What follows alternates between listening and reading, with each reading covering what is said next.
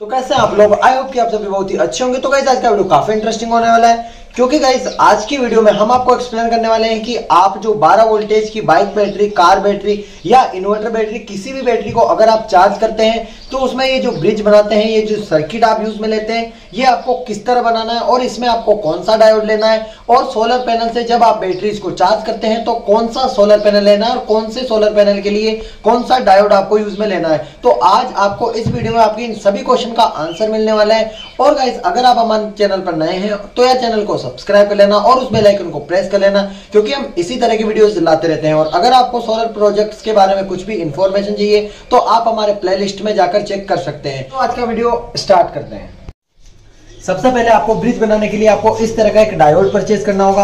अब आपको कौन सा डायोड परचेज करना है और कौन से सोलर पैनल के लिए परचेज करना है और कौन सी बैटरी के लिए परचेज करना है। तो इसमें आपको बता दूँ कि जैसा कि आप देख सकते हैं कि एक डायोड है हमारा, जिसके नंबर है I N four zero zero seven I N four zero zero seven आपको तभी परचेज करना है जब आपका जो सोलर पैनल का आउटपुट आउटपुट वोल्टेज है वो एक एम्पियर तक हो। अगर आपके पास छोटा सोलर पैनल है और उसका आउटपुट वोल्टेज वन एम्पियर तक हो तो आपको I N four zero zero वाले सोलर पैनल परचेज करने हैं। अगर गाइज़ आपका जो सोलर पैनल है, उसकी जो आउटपुट वोल्टेज है वो थ्री एम्पियर तक हो तो आपको I N five four zero eight वाला सोलर पैनल वो डायोड परचेज करना है। और अगर आपका सोलर पैनल का आउटपुट वोल्टेज सिक्स एम्पियर तक तो सिक्स एम्पियर तक हो तो आपको सिक्स ए टेन आपको ये सब मैंने डिस्क्रिप्शन में दे, दे रखे हैं। आप चाहो तो वहाँ से परचेज कर सकते हो आपके सोलर पैनल के अकॉर्डिंग और अगर आपका सोलर पैनल 10 एम्पियर तक इलेक्ट्रिसिटी देता हो तो गाइज़ आपको 10 ए 10 वाला डायोड परचेज करना है। अब आपको कैसे पता चलेगा कि आपका सोलर पैनल कितना आउटपुट वोल्टेज देता है? तो उसके लिए मैं आपको अभी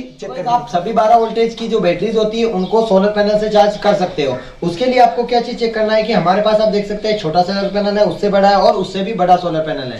ये जो छोटा सोलर पैनल है या फिर ये तीनों ही सोलर पैनल हमारी 12 वोल्टेज की बैटरी को 101 परसेंट तरीके से चार्ज कर देंगे, क्योंकि ये तीनों ही 12 वोल्टेज है बट गाइज़ आपको कैसे चेक करना है? तो इसके इसके सोलर पैनल के पीछे आपको ये जो इन्फॉर्मेशन दी होती है, इसको आपको ध्यान से देखना है। इनमें आपको ये देखना है कि आपका जो सोलर पैनल पैनल है, उसका एम्पियर कितना है और उसका आउटपुट वोल्टेज कितना है? बस ये दो चीज़ें चेक करना है और आप किसी भी सोलर पैनल से आपकी बैटरी को चार्ज कर सकते हैं। मैं अब आपको पास ला के दिखाता हूँ कि आपको वोल्टेज कितने तक देखना है और कौन से एम्पियर आप देख सकते हैं हमारे पास एक छोटा सोलर पैनल है इसका आउटपुट वोल्टेज 22 है। तो इससे हम 12 वोल्टेज की बैटरी चार्ज कर सकते हैं। और आप देख सकते हैं कि हमारा जो सोलर पैनल का एम्पियर है ये है ज़ीरो एम्पियर तो जैसा कि मैंने आपको बताया था कि ज़ीरो मतलब एक एम्पियर भी पूरा नहीं है। तो आप इसके लिए I N four zero zero seven वाला डायोड यूज़ में ले सकते हैं। बट गए जैसे मैं आपको इससे थोड़ा सा बड़ा वाला सोलर पैनल दिखाता हूँ।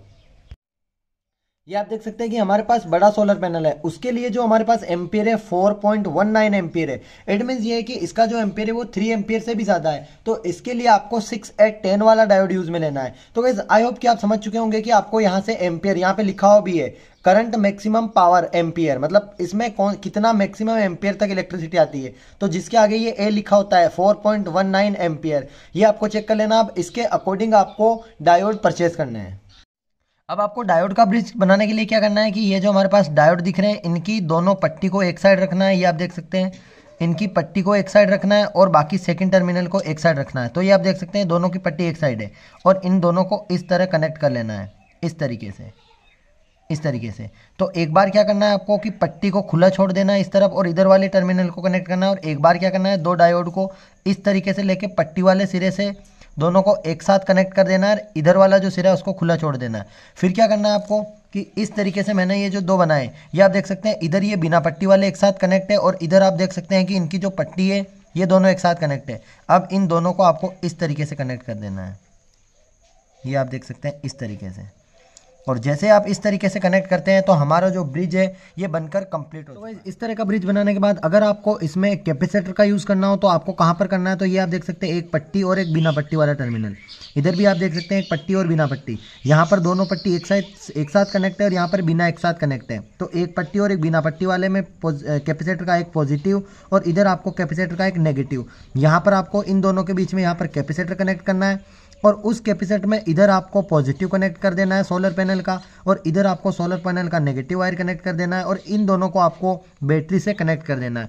इस तरीके से आप अपना ब्रिज कंप्लीट कर आप देख सकते हैं, इस तरीके से आपको कैपेसिटर भी इसमें कनेक्ट कर लेना है कि यहाँ पर जो बिना पट्टी थी, उन दोनों में ये आप देख सकते हैं, इधर पट्टी वाले एक साथ है, इधर बिना पट्टी वाले एक साथ है।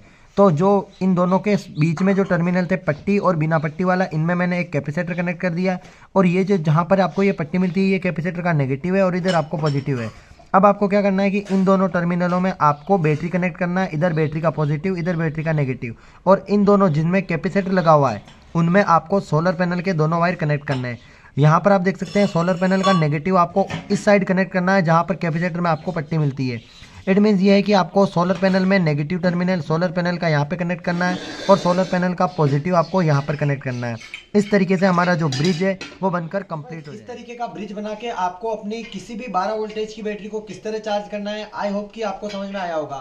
और गाइज़ अगर आपको किसी भी बाइक की बैटरी या फिर ट्रैक्टर की बैटरी को चार्ज करना है तो मैंने डिस्क्रिप्शन में वीडियो देखी, दे रखी है, या फिर आप हमारी प्लेलिस्ट में जाकर चेक कर सकते हैं कि किस तरीके से आप अपने बैटरीज को सोलर पैनल की से चार्ज कर सकते हैं। बस ये इसका जो कनेक्शन था, ये मैंने एक्सप्लेन कर दिया। अगर आपको वीडियो पसंद आए तो एक लाइक ज़रूर से कर देना। मैं मिलता हूँ किसी नेक्स्ट वीडियो में, किसी नए वीडियो में, या फिर किसी नए टॉपिक में। तब तक के लिए डाटा बाय बाय जय हिंद।